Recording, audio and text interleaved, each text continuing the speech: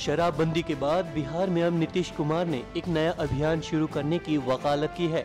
नीतीश कुमार के निशाने पर अब ऐसी शादियाँ आ गई हैं, जिसमें दहेज लिया गया हो। दहेज प्रथा को समाज से मिटाने के लिए नीतीश कुमार ने लोगों से अपील की है कि वो ऐसी शादी में न जाएँ, जिसमें दहेज लिया गया हो। दहेज प्रथा की तरफ़ नहीं जाना। बहुत सारे लोग पढ़ लिख करके आगे बढ़ जाते हैं। अफसर बन जाए, ऐसा नहीं हो कि दहेज प्रथा के शिकार हुए इसलिए हर हालत में और हम तो सबसे आह्वान करेंगे आप सब लोगों से, एक बार मन में संकल्प ले लीजिए, पता लगा लीजिए कि शादी ब्याह में दहेज लिया है कि नहीं लिया दहेज लिया हो, उसके विवाह में मत जाइए। सबसे बड़ा देख लीजिए कितना बड़ा असर है। कितना बड़ा प्रभाव पड़ेगा। और बाल विवाह के लिए तो सचेत हो जाइए। भाई, बच्चा में विवाह मत कर दीजिए किसी का।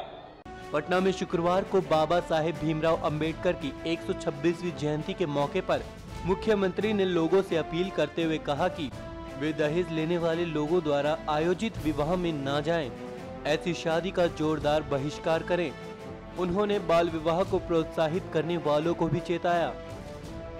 एनएमएफ न्यूज़ की रिपोर्ट।